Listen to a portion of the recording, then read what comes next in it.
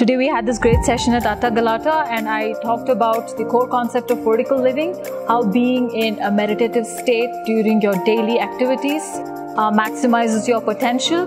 There's really one way to beat stress, that is by beating the psychological stress. A few simple techniques of blanking your mind and being in a thought-free state so you can maximize your potential, be open to flashes of creative insights, and uh, be able to listen to your calling more often than you usually do.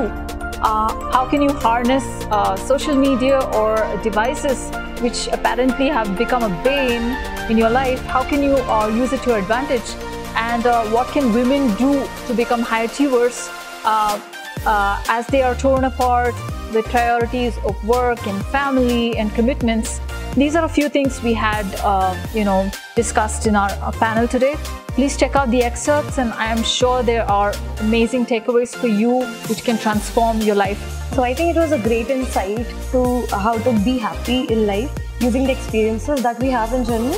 Plus I think uh, the book has a lot of uh, like she has a lot of points from a lot of big people who know how things are done in real life. So I felt the talk was really close to what I can do in my life if you do a physical workout or something, you can keep your body fit and all. But the most important thing is your head.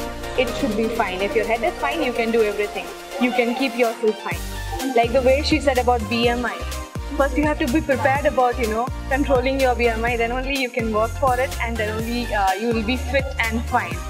So when talking to Vidyangi and seeing a presentation, what you come to know or what she tells or what she preaches or advocates is the importance of meditation, yoga and stress and not just doing this uh, via specific techniques but just normal things in life like you could just laugh out loud to get into a state of meditation and stuff like that. So she's taught us a lot of things via her presentation and her talk and it was a very insightful session.